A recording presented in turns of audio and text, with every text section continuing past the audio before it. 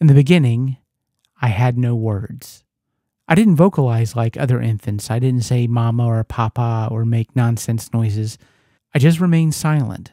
And that concerned my parents, and so they took me to a doctor who told them that they might have to get used to the idea that I was, as he put it, retarded, and that I would never be able to speak for the rest of my life. But when I turned three, I walked into the kitchen and spoke to my mother for the first time, using complete sentences. And, as it turned out, in that time I had somehow taught myself how to read, and words have not left me since.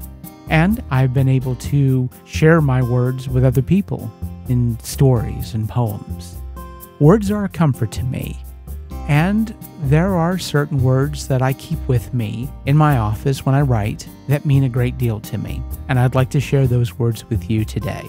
Laser etched on a block of wood is a quote that I read from Stephen King's book On Writing. The quote is Talent is cheaper than table salt.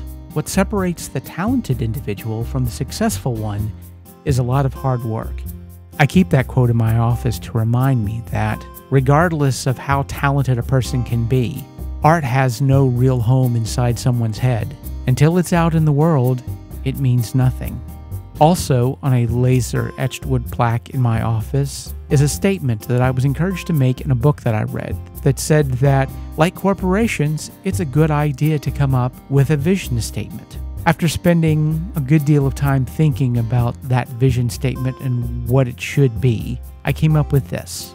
My mission is to seek knowledge and to learn more each day, to create meaningful and evocative art, and to share my knowledge and my art with the world.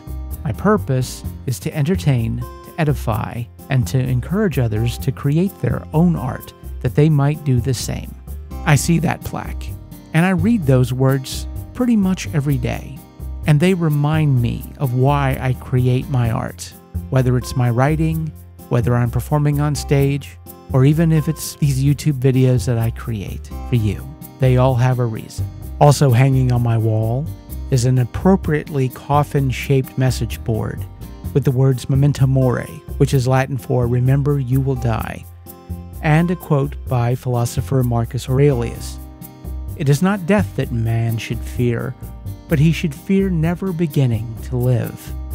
It's a quote that I take very much to heart. As a bonus, here's another quote that I don't have hanging in my office right now, but intend to rectify that situation soon. It's a quote by the magician Teller from the famous Penn and Teller. I like this quote for two reasons. One, because it's a quote by someone who's famous for not talking, but it's also a very powerful statement that rings true for me in a lot of different ways. His quote is Sometimes magic is just someone spending more time on something than anyone else might reasonably expect. How true that is.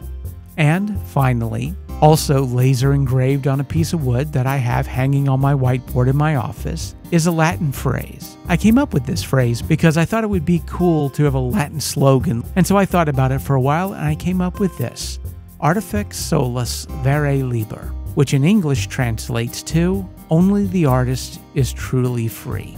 There are a lot of ways you can interpret that phrase, and there is a particular way that I do.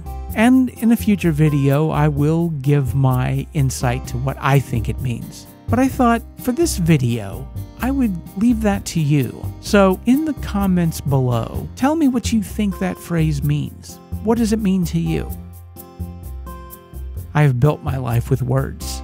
They have brought me a lot of joy and a lot of frustration. But words are who I am.